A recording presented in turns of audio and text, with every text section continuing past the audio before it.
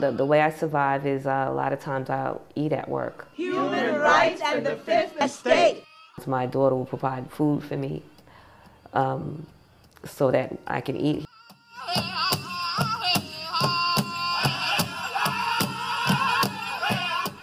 Um, in order to pay my rent, I have to plan at least six months in advance.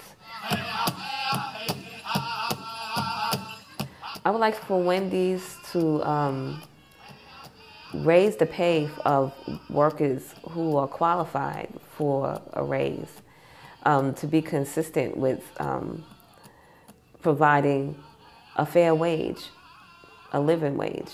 A living wage would be where you can provide food for your table and pay your rent in full and buy a uniform, do the basic uh, necessities that people uh, usually do in their lives. Stop looking at us as if we're menial workers and start looking at us as if we're professional um, chefs, um, if you will, because we do a lot of the, the work that chefs do. Customers will come in the store and they'll um, say, oh, ha, ha, you work for fast food. Um, you're not getting anywhere.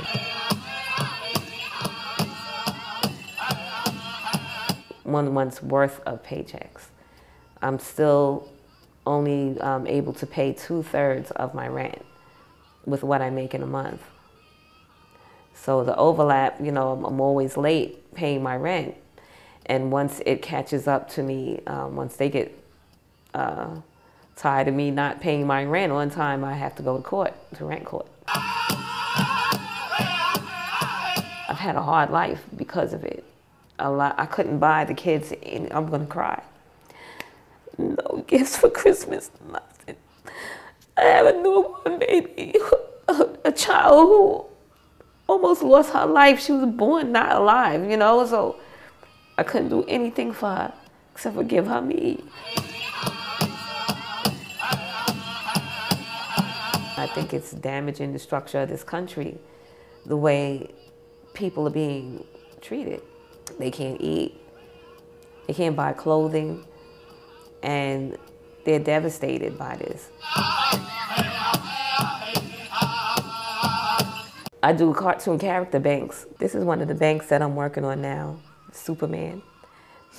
And um, it's my first one. I haven't done Superman before, but uh, I was motivated to do it because it's the first one. Superman is a hero, and that's what I want to be. I want to be a hero for the cause of $15 in a union, a living, fair living wage.